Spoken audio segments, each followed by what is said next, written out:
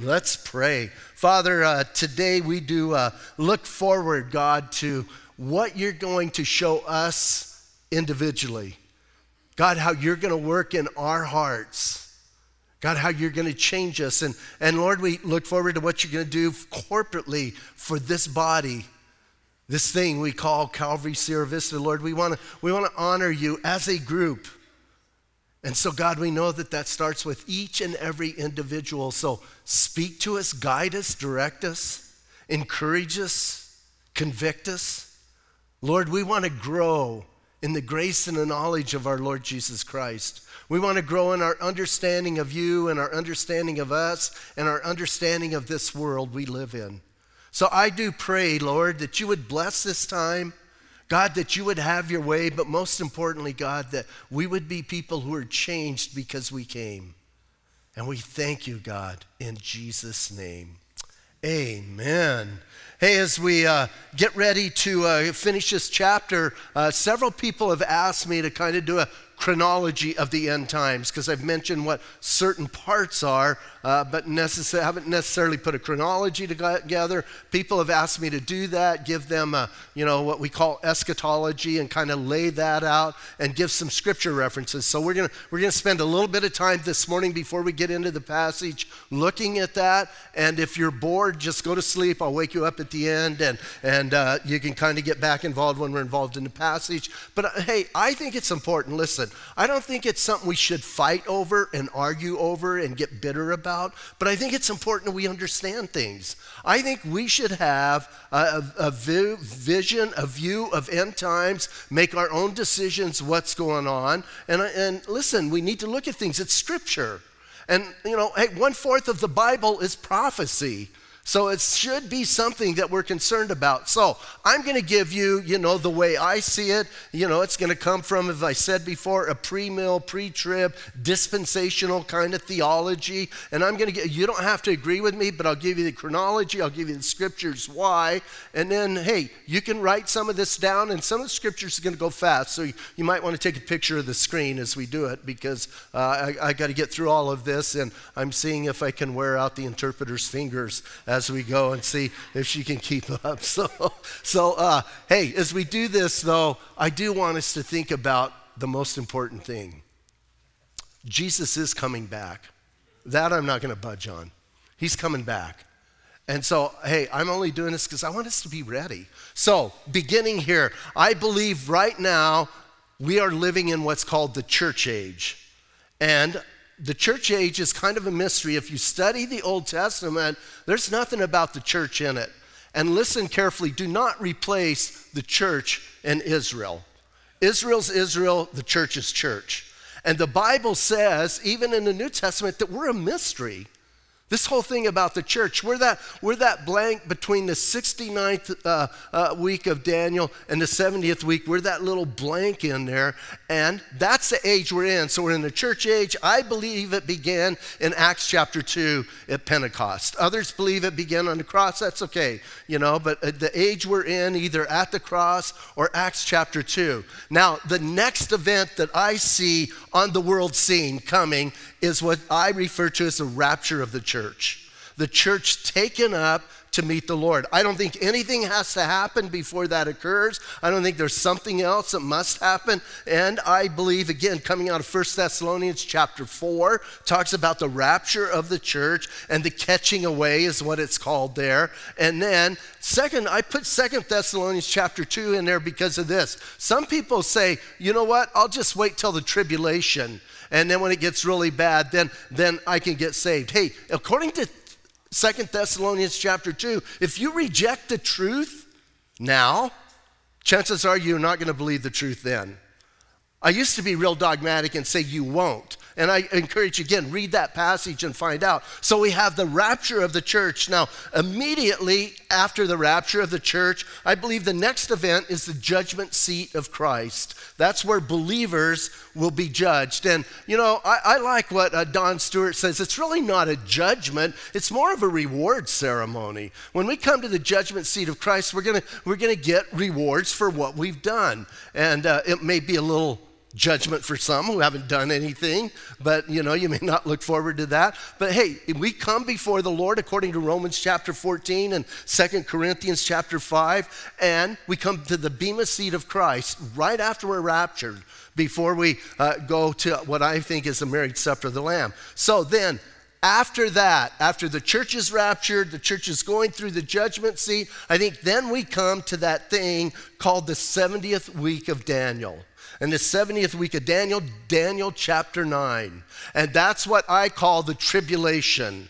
And it's a period, listen, it's a period of seven years. And in that seven years, God's wrath is going to be poured out. And God is going to judge the, all of the sin of the world. You know, sometimes people tell me, man, is God ever going to judge things? Yeah, He is. And I don't know about you, but I'm glad He's patient. I'm sure glad He was patient with me. I'm glad He was, you know, long suffering with me. Hey, I did some things and said some things I should have never gotten saved if God wasn't that patient and that faithful. So we have that and the tribulation then. We can talk about Matthew chapter 24, 1 Thessalonians 5, Revelation 4 through 19 kind of explain the tribulation, but in the middle of the tribulation is when things turn bad. The tribulation begins when the Antichrist makes a covenant with Israel, and then in the middle of that seven year covenant, he breaks the covenant and things get more intense. But if you read the first half, it's no picnic. You know, some people go, I don't think the first half's that bad. Really? Read it and see what happens and tell me it's not that bad. So, listen, man, it intensifies some, and uh, you can read those passages and look at it. Satan, in my mind, Satan is just unleashed, and he can do whatever he wants during that time. And again, God is unleashing him, and God is allowing that. So, we have that going on, and uh, then at the end of that time is when Satan gathers the world, they come together, and they battle against God. The Antichrist is in reigning. He's bringing everything together. That's Revelation chapter 16. And they come and they have this quote, battle against God, the battle of Armageddon. Uh, I think that's kind of a misnomer. It's not going to be a huge battle. Listen, Jesus is not going to come back and go, man, hope I can make it through this. When Jesus shows up, it's over.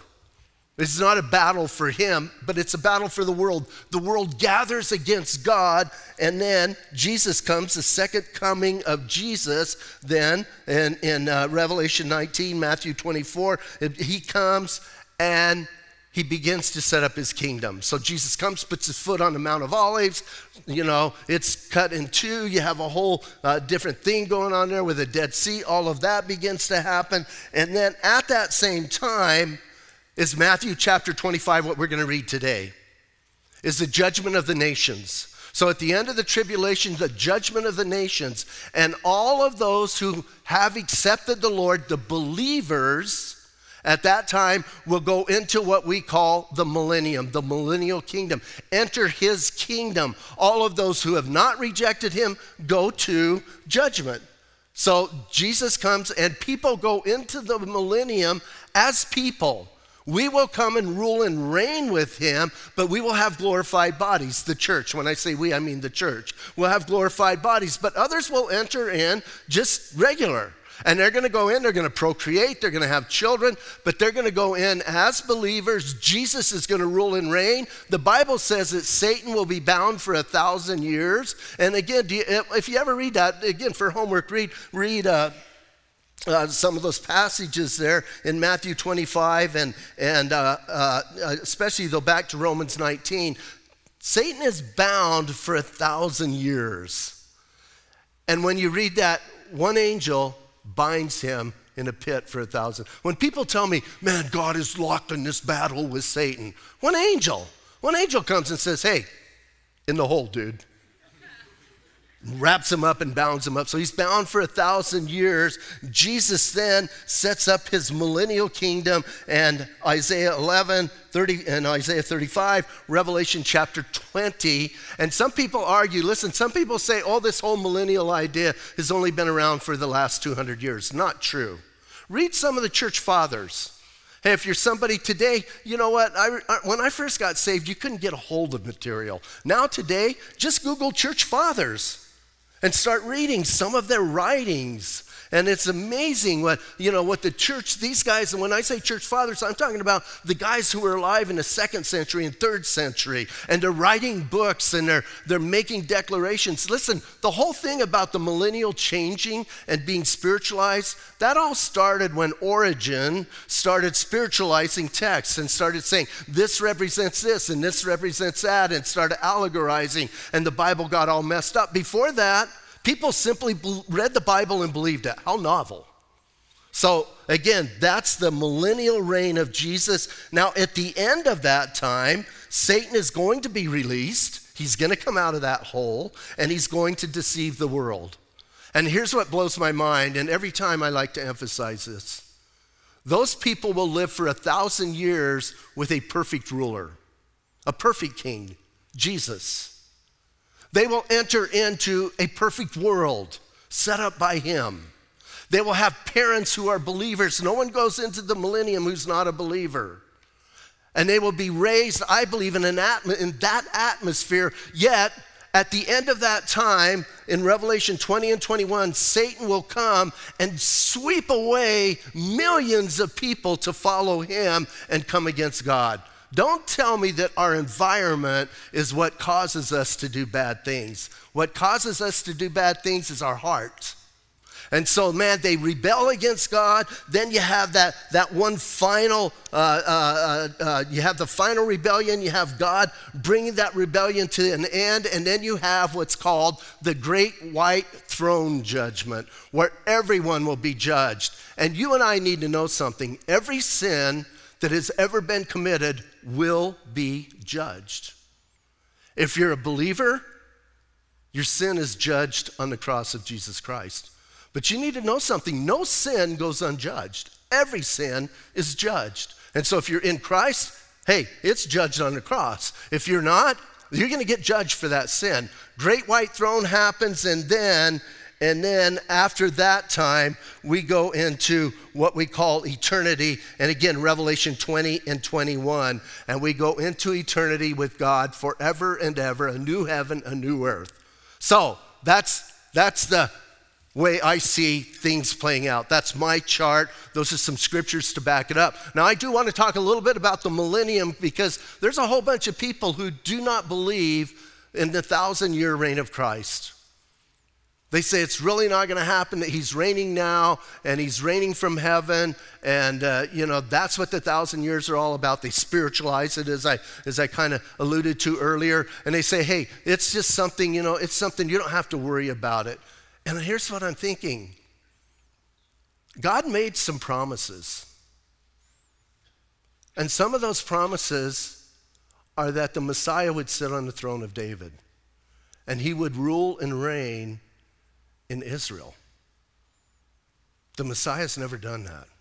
Jesus has not done that. So uh, I'm going to bring up five things why I think the millennial is real and the millennial is really going to happen. And starting with these promises, and here's a bunch Isaiah chapter 9, chapter 54, uh, chapter 66, Jeremiah chapter 23, 31, 33, and Romans 11. All of those talk about he is going to come and set up his kingdom and have a kingdom. And listen carefully, man. The, well, I'll, let me get to the next, the next slide. So we have those promises. God keeps his promises. Oh, and here's one Matthew chapter 19.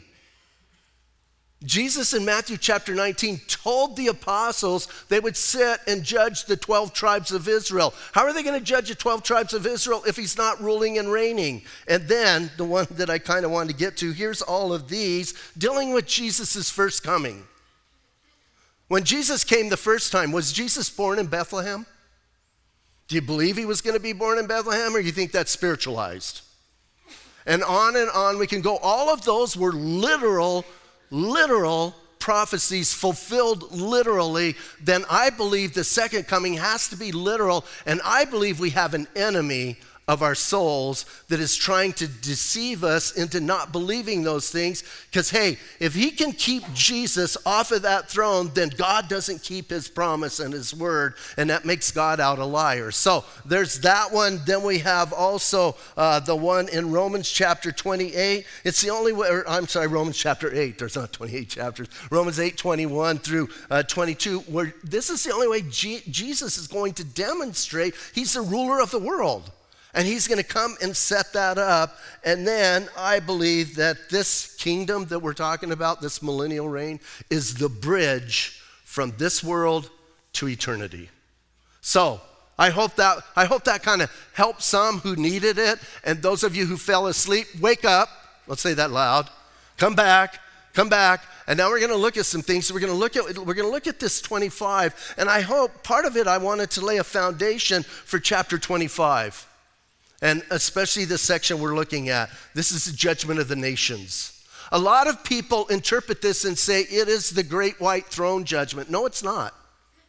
Listen carefully. This judgment takes place at the end of the tribulation. This judgment takes place, and these people here ta- he's talking about have lived through the tribulation. Some have accepted Jesus. I believe, listen, I believe the greatest revival the world has ever seen will happen during that seven year period. I believe a whole bunch of them are going to be killed and dead, but I believe, again, a whole bunch are going to go through the end. And Israel is going to come through. So we're talking about the end of the tribulation. Keep that in mind. We're talking about when Jesus comes to set up his throne, he puts his foot on the Mount of Olives, and then Matthew chapter 25, the judgment of the nations take place. So, oh, by the way, this is not a parable. When he talked about the 10 virgins, that was a parable. He said the kingdom of heaven is like when he talked about the talents, he said, The kingdom of heaven is like. Look at verse 31. When the Son of Man comes in his glory and with all his holy angels with him, then he will sit on the throne of his glory. Listen what Jesus says. This is what blows my mind. How do you spiritualize that? Jesus says, when the Son of Man comes in his glory, he's coming back. And I, I think I mentioned last week, hey, I got really disturbed when I found out I'm in a church all those years and no one told me Jesus is coming back. That's a drag. I think one of the first things we should tell people Jesus is coming back. Let people know he's coming. So he says, listen, man, when he comes, when he comes and he, he comes in his glory, he says, and sits on his throne, that the fact that he's coming at the end of the tribulation period. So again, here's these passages Daniel chapter 7, chapter 9, chapter 12, Matthew chapter 25, Revelation. He's coming at the end of the tribulation period. And I want you to understand that. And he comes and he sits on his throne. And he's set up as King of Kings and Lord of Lords. And here's what I love, man. Jesus used that, that, that whole idea of Son of Man. And Matthew, throughout his gospel, has emphasized that Jesus is King. We started this whole thing with, with our emblems that are behind us, from the crown to the cross. And Matthew has taken us on that journey. And now I want you to remember something. When Jesus said these words, where was he? On the Mount of Olives. Who's he with? The boys. Right? They're hanging out. Don't ever forget that. This wasn't some theological class. They're hanging out, and what is Jesus doing? He's answering that question Jesus, when will these things be? What will be the sign of your coming? And the end of the age? He's still answering that question, and they're sitting there, so kind of keep that in mind. But how about keep this in mind also? Jesus knows in just a few days he's going to be hanging on a cross. And he knows all 12 of those guys are going to disappear. And he's going to be alone. And it's probably going to be, you know, humanly speaking, a horrible time. Maybe his worst time ever. But I want you to notice what he's focusing on. He's not focusing on that. He's focusing on the fact I'm coming back. And when I come, I'll come in my glory. And I'm going to bring my holy angels with me. And I'm going to sit on my throne. I am king. and I'm going to come back and sit on my throne. You know, when I think about sitting on his throne, where is his throne? Jerusalem. Why is it why do I say Jerusalem? Luke chapter 2. An angel visited his mother, and she said, He will sit on the throne of his father David. Where's David's throne? Jerusalem. So he says, Man, I'm going to come back and I'm going to rule and reign from Jerusalem. Now, hey, that's pretty intense, right? And he says, Hey, he says, when he comes back in all of his glory, verse 32, and all the nations will be gathered before him. So, all the nations, so we could even translate this this way, and it might be a little bit better. All the people. When he says all the nations, it's ethnos, it's all the people, everybody. Listen, when he gets on his throne, there's no hiding. Who's ever alive is going to come. Now, they're going to be gathered before him and he's going to judge them. He's going to, he's going to bring them, he's going to judge them. It says they're going to be gathered before him, and he will separate them one from the other as a shepherd divides his sheep from his goats, and he will set the sheep on his right hand and but the goats on his left. So you got two entities. You got sheep and you got goats. I want you to pay attention to something. When they come to him, they're already sheep and goats. He doesn't make them sheep and goats. Remember, they are what they are, and you are what you are. So Jesus is coming because here's the thing people get mixed up here and start, start uh, teaching this for a work salvation. This is not about works. You're either a sheep or you're a goat. I always like to say this you know what the difference between sheep and goats are? Sheep go ba, goats butt.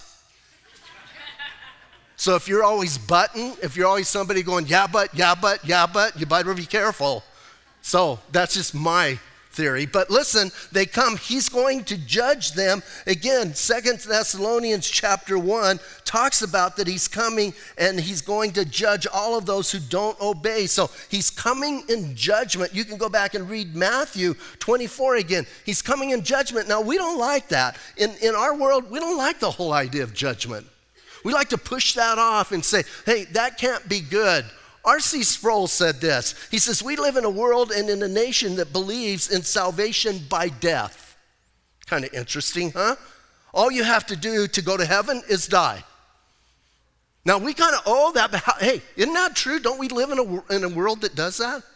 How many times do people say, they never talk about that person's relationship with Jesus? They just go, well, they died, they must be in heaven.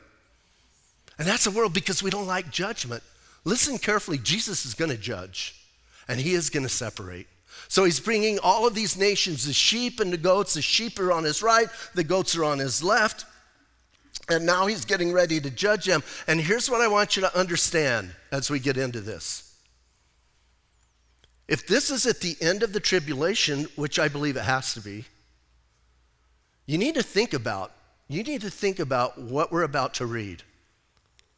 Because if people did the things that he's talking about, they didn't do them out of a, a, a, a time of, of uh, great wealth. They didn't, they weren't affluent people.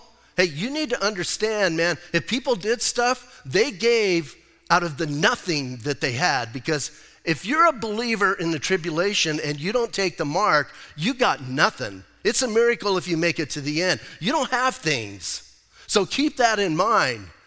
And here's what Jesus says about the sheep. Listen to what he says. He says in verse 34 Then the king will say to those on his right hand, Come, you blessed of my father, inherit the kingdom prepared for you from the foundation of the world. Now, I want you to underline, man, if you're a Bible marker, here's what I want you to underline inherit. Don't, he didn't say, Come and get your wages or come and get what you deserve. He says, Come to your inheritance. Who inherits things? Offspring, right? Some of you go, that's a trick question. You're just trying to trick me.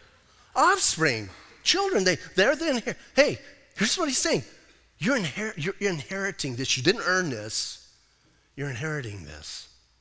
So come. I love that whole idea, man. Come. Why? Because you're sheep they didn't become sheep by what they did, they were sheep and they did what sheep do.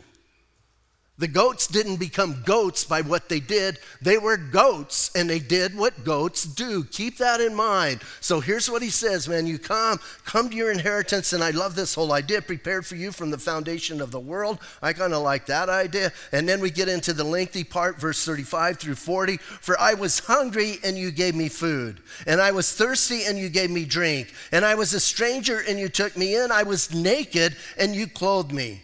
I was sick and you visited me, and I was in prison and you came to me. Listen, Jesus, and they say, Then the righteous will answer him, saying, Lord, when did we see you hungry and feed you, or thirsty and give you drink? And when did we see you a stranger and take you in, or naked and clothe you? And when did we see you sick or in prison and come to you? And then he says, And the king will answer and say to them, Assuredly, I say to you, inasmuch as you have done did this to the least of these, my brethren, you did it to me. This is not, listen carefully, listen hard. This is not teaching that we have to go and feed the sick. I, I um, visit the sick and feed the poor and clothe the naked and go do all those things to get into heaven. That's not what this is teaching. Keith Green. Sorry, I had to throw that out there. Some of you know what I'm talking about. Some of you going, who's he talking to? Keith, are you here today? Stand up. But so, if you don't know, Google. But this is not teaching that. Here's what this is teaching sheep do what sheep do. Saints, you don't become good by doing good works. You do good works because you are good because you're already changed. And don't go away from this passage getting into the mentality here's what I need to do to get into heaven. Here's what you must do to get into heaven. Believe that Jesus Christ died for your sins and took your sins upon him and suffered what you were owed and, and what you needed. And he took that and now he offers you a gift. But sheep do what sheep do, and I want us to understand that. Jesus didn't bring in a whole bunch of weird animals, and then because they did it, now you're a sheep, and because they didn't do it, now you're a goat. No, they did what they did because that was their nature. Now, hey, Jesus is saying some stuff, and here's again, I want you to think about these people gave out of their poverty. Imagine being in the, hey, again, read Revelation. Read what happens. Imagine at that time being generous. Like it's easy for us, I think, most of us, to be generous right now. But what about when you got nothing? What about when you got two crackers? You give one to that guy because he needs it? What about visiting the sick? Hey, if I come out and visit the sick, I might get killed because I don't have the mark. And I am now a marked man because I don't have the mark and I'm going to come out and visit the sick. Or how about going to see people who are already imprisoned for their faith? You're going to go do that when you know pretty much you go visit them, you're going to get imprisoned? You see, that's what was going on. So, some pretty intense things. And hey, what drives a person to do that kind of stuff is the Spirit of God alive in them, moving them to do it. Not some social gospel that we have to go fix the world. We're never going to fix the world. Now, having said that, I think we should feed the hungry. I think we should clothe the naked. I think we should be doing those things, but they should be an outwork of who we are, not to get into heaven. We should not do those things. Good, I did that, now I get into heaven. So Jesus judged them. He says, Hey, man, come. And, and uh, he says, You know what? You guys come and, uh, and enter my kingdom. That's kind of cool, huh? So those are the guys going into the millennial kingdom. They're to they're to live during that time. And then verse 41 comes the hard part. Verse 41, he says, Then he will say to those on his left hand, Depart from me, you cursed, into everlasting fire prepared for the devil and his angels. Now, does that, does that verse like freak you out a little bit? Freaks me out. Depart from me? Wow. It's intense. Depart from me, you cursed. See, they're already cursed before they get to him. And then he says, Listen, he says, Depart from me, you curse. And he says, and uh, you curse into the everlasting fire. Listen carefully, prepared for the devil and his angels. This place, we kind of throw the word hell around kind of loosely. Hell, technically, hell in, in the Old Testament is Sheol, the place of the dead. What what we generally think of, and when we use that term, unless you're cursing, but when you use that term, you're generally thinking of what he's calling here the lake of fire, the eternal lake of fire, the final judgment of everyone. And here's the interesting thing Jesus just let us know something. That lake of fire wasn't created for punishment for man, the lake of fire was created to punish the devil and his angels. And men choose to go there by choosing to reject Jesus Christ. So these have rejected, and here's proof of their rejection. Listen, he says, Here's where you're going to go. Verse 42 For I was hungry, and you gave me no food. I was thirsty, and you gave me no drink. I was a stranger, and you did not take me in. Naked, and you did not clothe me. Sick, and in prison, and you did not visit me. Then they will also answer him, saying, Lord, when did we see you hungry or thirsty or a stranger or naked or sick or in prison and did not minister to you? Then he will uh, answer them, saying, Assuredly, I say to you, inasmuch as you did not do, uh, do it to one of these, uh, one of uh, these, the least of these, you did not do it to me. Wow. Now, here's what I find fascinating is the goats didn't even know they were goats. Here's what they said When did we do that? Just like the believers, when did we do that? Why? Because if you're a believer, you're just living life and you're just doing it. You don't do it to get credit, you do it because of who you are. It just comes out of that relationship with Jesus Christ. And it just happens, and Jesus goes, Hey, you did this for me. And you go, When did I do that? I think of the, I think of the passage in Luke. Remember, Jesus gives a parable of the, of the master and the slave, and the slave comes in. He just does what he's supposed to do. Hey, when he's done, he doesn't say, Oh, I get a big reward. I waited on you. No, that's what I'm supposed to do. And as believers, you just do it and you're shocked that you did it. But here's the flip side of it as unbelievers, you're shocked that you're getting judged for not doing it because you don't know you didn't do it. And you're going, When didn't we do that? Well, because you not really who you said you were. Here's what, here's what blows my mind about chapter 25.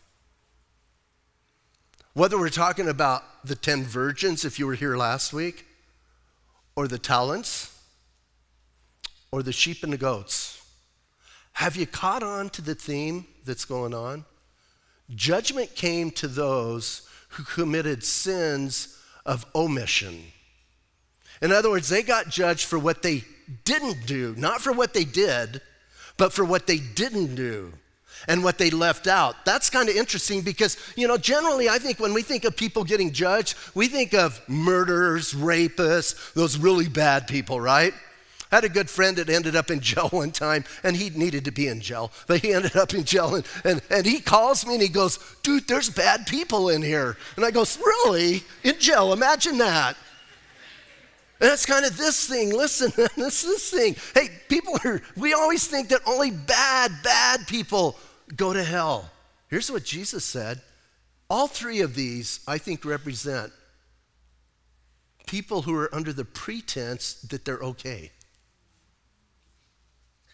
And they're not.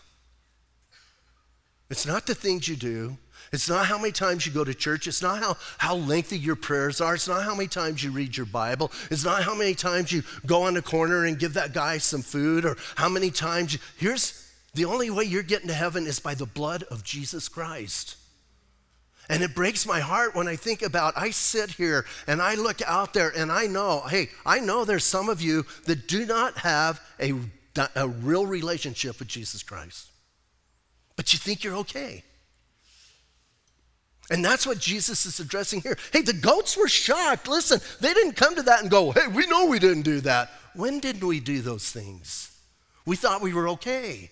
We thought we were doing the right thing. Wow. And Jesus says, hey, you guys depart from me. He said it earlier. And then, verse 46 and these, the ones he's talking to, will go away to everlasting punishment, but the righteous into eternal life. That's pretty intense. He talks here about everlasting punishment, and then the translators say eternal life. You need to know something. The word used for everlasting and eternal are the same exact word. It's just the way the translators translated it. He's talking about eternity.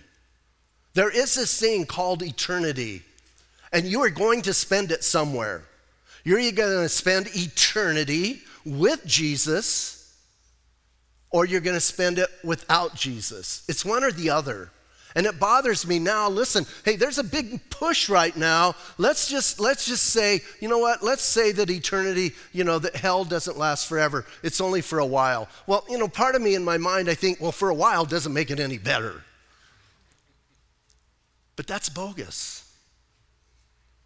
And I think when we do that, we want to soothe our conscience because we're not really reaching out to people who we need to be reaching out to. So we want to make ourselves feel a little bit better that they're only going to suffer for 2,000 years or 2 million or whatever. No, those who go to that lake of fire, it's forever. Here's what I believe there's a final resurrection. We will be raptured. Then those in the millennium, at the end of the millennium, uh, will those who died will be uh, joined with the Lord, and we get indestructible bodies. Once we're glorified, we get indestructible bodies. That's kind of cool, huh? But do you know that people on the other side get indestructible bodies? But they're going to want to die, and they can't. And I think we've kind of lightened that up. I want to read a couple quotes. This is from J.C. Ryle. This is a really, really, really old dead guy. He's been gone for a long time. Listen to what he said. The state of things after judgment is changeless, changeless, and without end. The misery of the lost and the blessedness of the saved are both alike. They're forever. Wow. That should bother us. John MacArthur says this Jesus is speaking of eternal separation from God and from His goodness, His righteousness, His truth, His joy, His peace, and every other good thing. He is speaking of an eternal association with the devil and his angels in a place of torment God prepared for them. He is speaking of eternal isolation where there will be no fellowship, no consolation, no encouragement. And he's speaking of an eternal duration of an eternal affliction from which there will be no relief or respite. That's intense when you read it that way, right? And it should scare us. And man, I want us to be people who we're trying to save people from that. I don't want to see anybody. Man, I read that and it sends chills down my spine and it scares me. And it even scares me more when I think people sit in church week after week after week after week. And here's what they hear blah, blah, blah, blah, blah, blah, blah, blah, blah, blah, blah. I've had family members, I can just share this. I've had some of my family members come. Most of my family's not saved. I think Gaynell is. No, I'm kidding. She's not here. no. I just had to say that. I love her. Honey, if you're watching, I love you. Gaynell is saved. And a couple of our, but most of our family's not saved, and they'll come occasionally. You know what they always say to me going out? Because, hey, they know me. You know what they say to me? Man, you are long winded. You're long-winded. Listen to this because it's because it means nothing to them. They're dead. And some of you sitting here right now are saying amen to that. If you're dead inside, you're dead inside. You need to be made alive. I want everybody to be a sheep. I don't, I don't want any goats. I want a whole bunch of sheep. You know, and some people go, well, sheep bite. Well, I'd rather get bit by a sheep than butted by a goat. But hey, come on. Let's be serious. If you're sitting here today and you do not have a relationship with Jesus, and you know that, do you think you're here by mistake? Pretty intense message. You need to make up your mind, man. You need to either get in or out. But be honest about it. Now, leaving on a little better note, praise God that we can be sheep. And that, listen, that Jesus is going to use us in this world to change this world. Hey, we're not going to go through the tribulation, I believe. But we can sure help people right now. And we don't need a social gospel, we need a real gospel that does social things. Let's stand up and pray. Father, I do thank you today, God, for your amazing grace. And even as we think about what we read and, and the topics we looked at and, and putting everything together and then getting to this, to me, intense, massive passage that happens to people at the end of a, of a horrible time. And what a shock for those who think they're okay and they're not. And God, I pray for our ministry here that by your Spirit, people are convicted they're not comfortable in their sin. I don't want someone to come to judgment and be shocked and say, well, that church never told me. We want to be a church that's open and honest and real. And so, God, I pray for those here today who don't know you. Touch them. Give them, give them that, that faith to come and to tell you, today, I want to be saved. And I know for some that would be a hard thing. They've been around for a while. But Lord, don't let the enemy talk any of us out of being real and truthful and honest with you.